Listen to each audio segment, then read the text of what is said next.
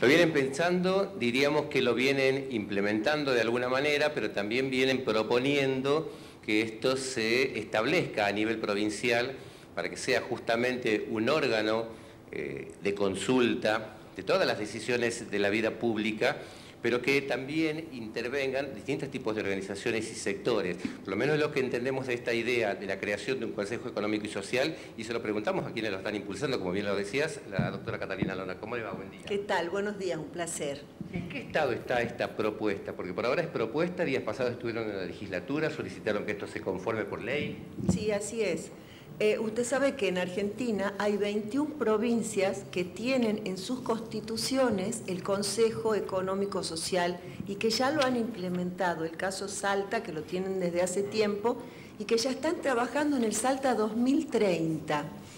Eh, hace muy poco tiempo la provincia de Santa Fe lo ha implementado por ley, o sea que ya hay 22 provincias que tienen Consejo Económico Social. Nosotros hemos trabajado junto a algunos compañeros de la CGT, al doctor Carlos Gallardo, algunos gremios, hemos trabajado un anteproyecto de ley que lo hemos presentado en la legislatura con una nota de elevación al contador Osvaldo Jaldo, porque usted sabe que nosotros los ciudadanos no podemos presentar leyes directamente, sino que las tenemos que hacer a través de un legislador.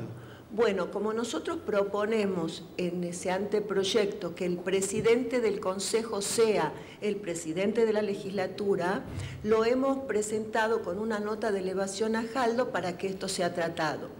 Yo le consulté hace unos días en qué estado se encontraba y me dijo que los cuerpos técnicos lo estaban estudiando.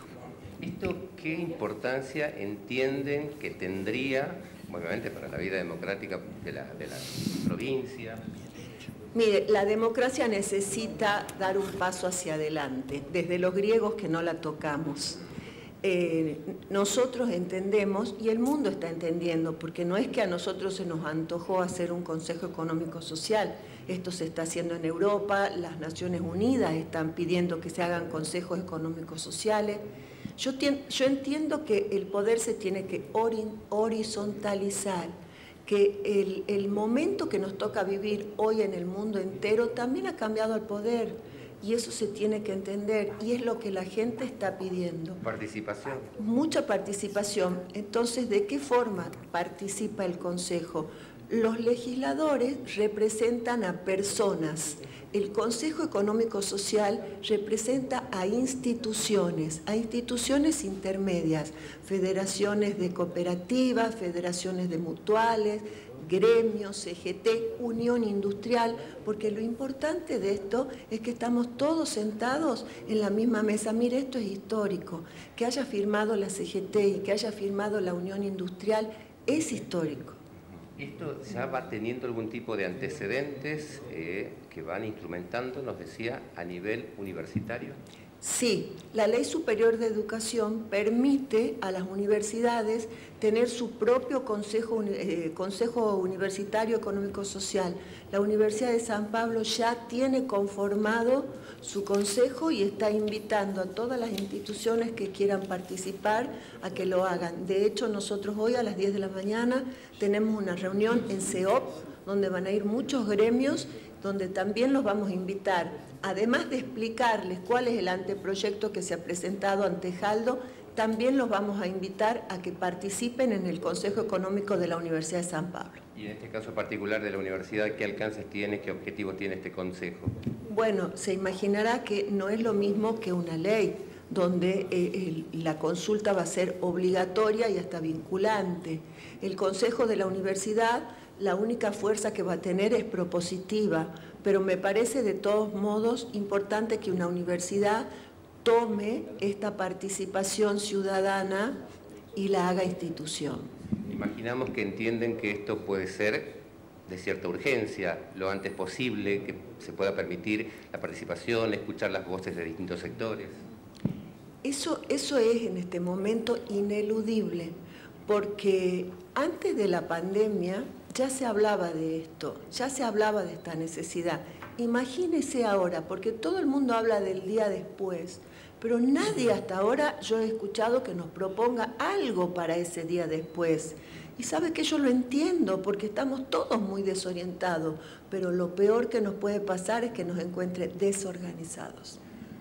Será cuestión de ahora esperar los análisis técnicos, las evaluaciones de esta propuesta, las modificaciones que se podrán plantear, pero que avance la iniciativa. Sí, por supuesto, nosotros estamos a disposición de la legislatura para explicar cualquier cosa sobre el proyecto. Eh, de hecho, el contador Jaldo me ha dicho que, en breve nos iban a llamar para hablar sobre esto. Eh, la verdad que el proyecto está muy bien hecho, el anteproyecto está muy, muy bien escrito, inclusive ha sido revisado por, por personas que tienen una maestría en Derecho Parlamentario. Mire, es una joyita el proyecto. Así que yo espero que se trate pronto. Espero que eh, se trate en realidad.